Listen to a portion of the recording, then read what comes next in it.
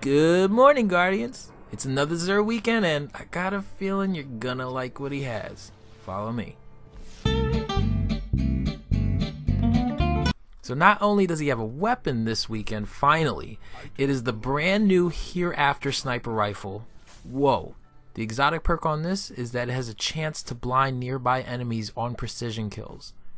I've never had one before, so you can be sure I'm going to pick up one of these babies.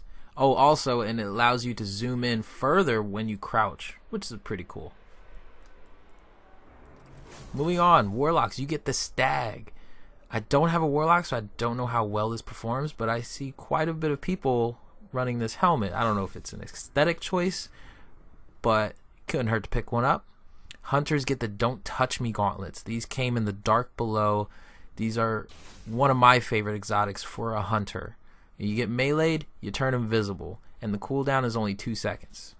Titans get no backup plans. They have been reconfigured for the Taken King a tiny bit, but they're not really game changing like the way Skullfort has with two melee charges, where year one version doesn't do that at all.